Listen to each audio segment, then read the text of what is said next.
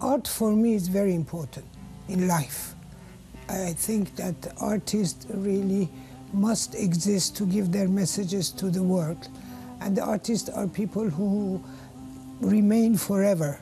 If people forget the name of leaders or kings or presidents, they never forget musicians and singers and artists.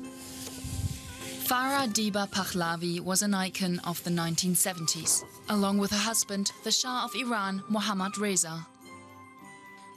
Now Farah Pahlavi lives in exile. Her home in Paris is full of artworks. In the 1970s, Farah was the face of Persian culture. Here with Andy Warhol.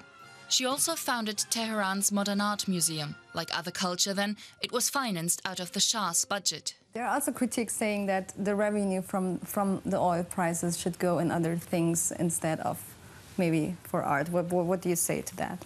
In Iran was developing in so many areas and uh, people who want to criticize, they also uh, always find something.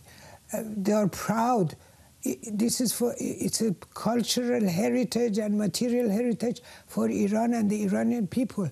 Compare the price that we bought in those days till today. Iran was in turmoil in the 1970s. Liberals demanded freedom of expression.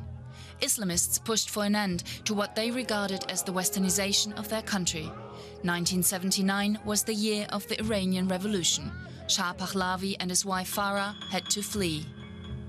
There's not one day that I don't think about Iran and every hour because the country like Iran with great civilization, with great wealth, with its people, and when you see the condition of Iranian people today in my country, I, I cannot, I, I really suffer a lot because of the condition of women their freedom, the way they are insulted, the way they, they are treated.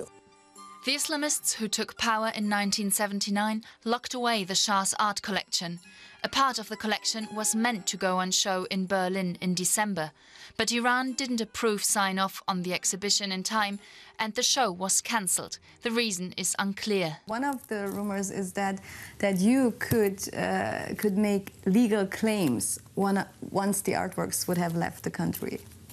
This is ridiculous, you know, the uh, rumors. When I built, helped to build this museum was for Iran and for the Iranian people.